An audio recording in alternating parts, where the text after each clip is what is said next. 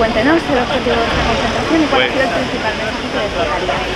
El objetivo de esta concentración es visibilizar una vez más que la Universidad de Zaragoza, la Universidad Pública de Aragón, eh, está en contra de cualquier tipo de violencia, de cualquier tipo de abuso, de cualquier tipo de dominación de los hombres contra las mujeres. Desgraciadamente, en 15 años, más de mil fallecidas en nuestro país por este motivo y todavía seguimos asistiendo a una sociedad que no acaba de reconocer que esto es un problema que debemos de erradicar. Por eso eh, estamos comprometidos no solamente como empresa, desde el punto de vista de nuestra actuación interna en el protocolo de acoso, no solamente como centro de formación desde el punto de vista de protocolo con los estudiantes y las estudiantes, sino también sentimos la obligación de que el estudiantado aprenda muy bien lo que tiene que saber, muchas matemáticas, mucha lengua, mucho inglés, mucho lo que haga falta, pero también unos principios porque son el futuro de la sociedad.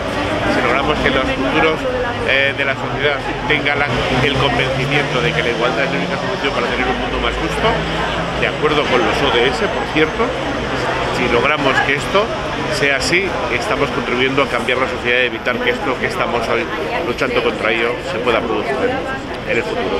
Vemos que en el manifiesto se ha hecho referencia un poco a lo que está pasando políticamente, ¿no? ¿Están ¿Qué, preocupados? qué quiere que le diga? Claro que estamos preocupados porque cualquier, eh, desde luego en una democracia uno tiene sus opciones, pero desde luego cualquier opción política es válida. Lo que no es válido es una opción ideológica que vaya contra la igualdad. Esto es muy diferente. Opciones políticas sí, opciones ideológicas que atenten contra principios fundamentales no. Igual que no nos parecería bien que un partido político defendiera que es legal robar. Nos parece bien que se defienda eh, una opción ideológica que va contra la igualdad entre hombres y mujeres. Sí que se ha hecho también, eh, ah, eh, sí que se ha hecho también un, dibujo bastante amplio de todos los aspectos que recoge el ataque a la.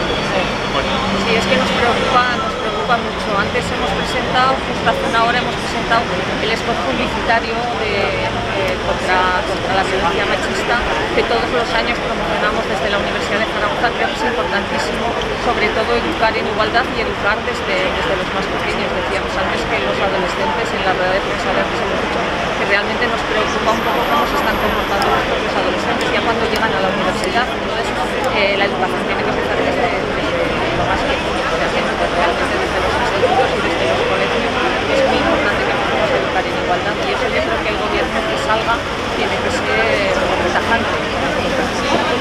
Gracias. Adiós.